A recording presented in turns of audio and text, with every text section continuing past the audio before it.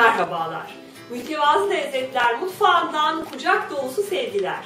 Bu bölümümüzde bir hamur işi tarifimiz var. Fincan mantısının yapımını öğreneceğiz. Ama önce malzemeler. Bir paket çabuk maya, bir su bardağı ılık su,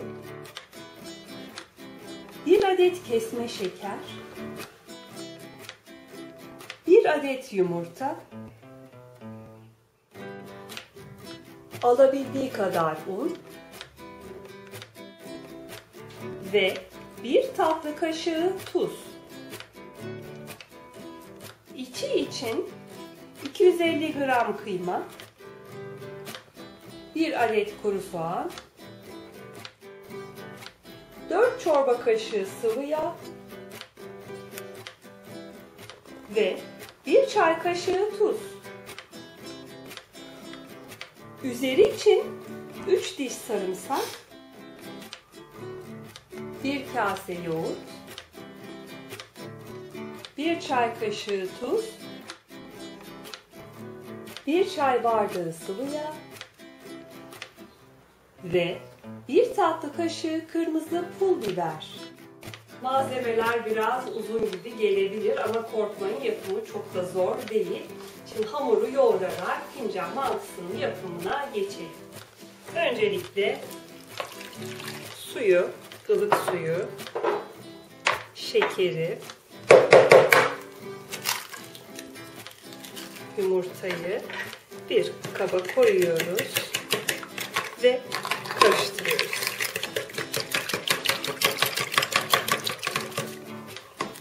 Güzelce karıştı. Şimdi çabuk mayamız vardı. Onu da şöyle biraz unla karıştırdıktan sonra sıvı karışımımıza ekliyoruz.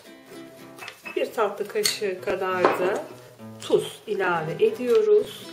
Ve çok sert olmayan, ele yapışmayan bir kıvama gelene kadar un ekleyerek yoğuruyoruz.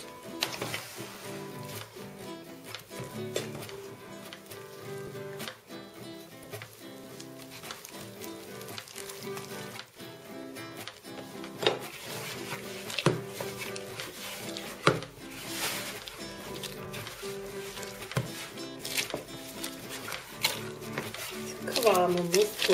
Çok sert değil. Altına un serptikten sonra kapağını kapatıyoruz ve en az 45 dakika ılık ortamda bekletiyoruz.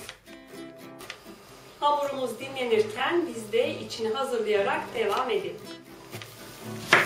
Bir adet kuru soğanımız var. İnce olarak doğruyoruz.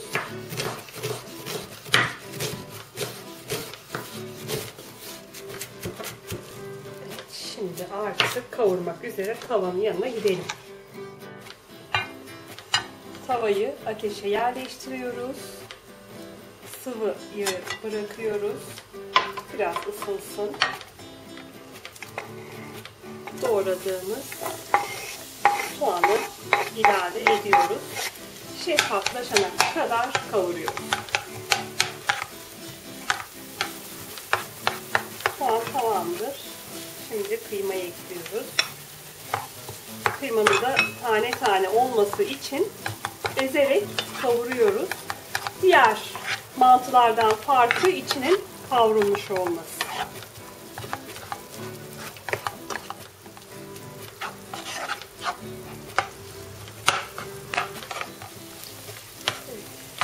İçimiz oldu. Şimdi artık tuzumuzu da ilave edelim. Şöyle birkaç tur çevirelim. Ve ateşi kapatalım. Soğumaya terk edelim. İçimiz pişti. Hamurumuzun da muhtemelen kabarmış olduğunu düşünüyoruz. Şimdi açıp bakacağız. Evet. Gayet güzel kabarmış. Şöyle önce elimizi unlayarak bir alt üst edelim.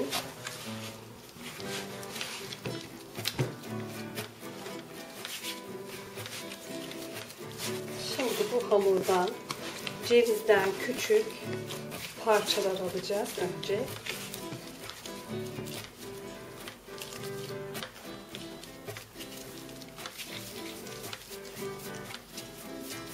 Yuvarlayacağız.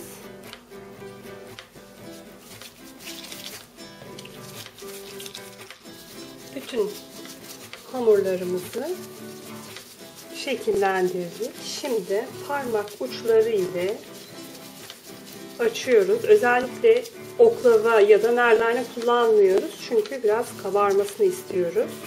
Bir fincan ya da bizim kullandığımız gibi bir yumurta kabı hafif unluyoruz. Ve hazırladığımız ve soğuttuğumuz kıymalı içten bir tatlı kaşığı kadar bırakıyoruz. Şu şekilde topluyoruz ve yağladığımız fırın tepsisine diziyoruz.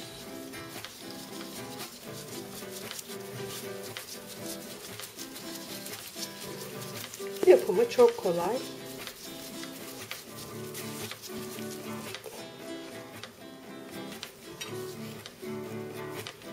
Biraz ufak olması için biz bu yumurta kabını tercih ettik. Fincan da olabilir.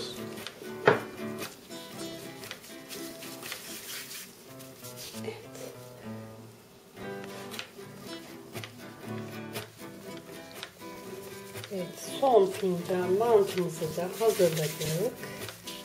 Önce yaptıklarımız bu arada kabardı. Şimdi üzerlerine çok az fırçayla sıvı yağ sürüyoruz. Bu arada da fırınımızı 190 derecede ısıtmaya başladık.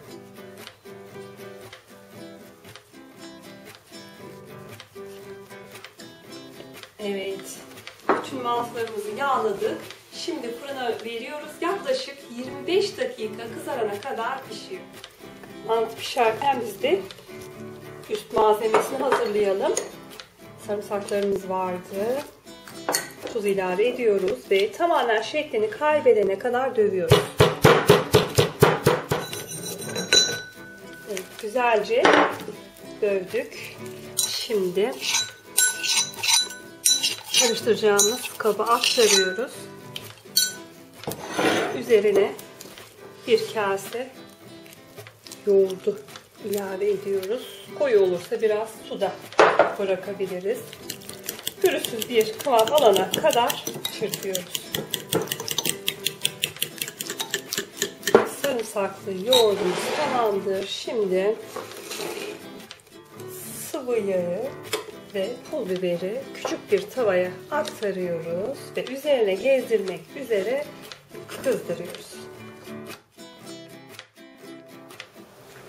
Fincan mantılarımız fırından çıktı. Buram buram. Şimdi artık servis zamanı. Biraz daha büyümüşler.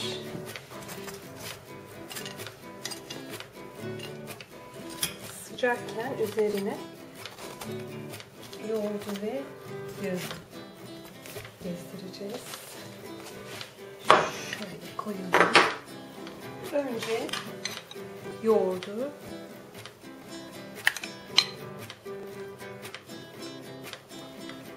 sonra da biberli yağı gezdiriyoruz. Arzuya göre nane ya da sumak da kullanabiliriz. Evet. Afiyetle yiyelim artık.